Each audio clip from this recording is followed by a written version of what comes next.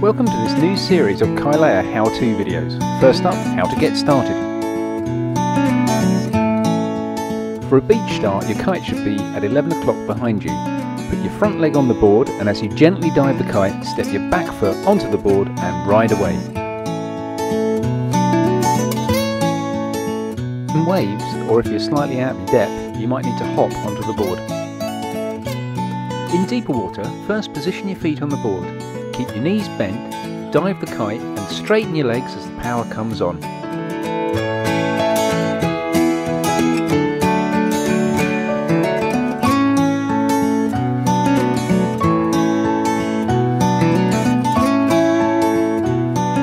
Once you've mastered all those starts, there's plenty of other ways of getting on the Kilaia.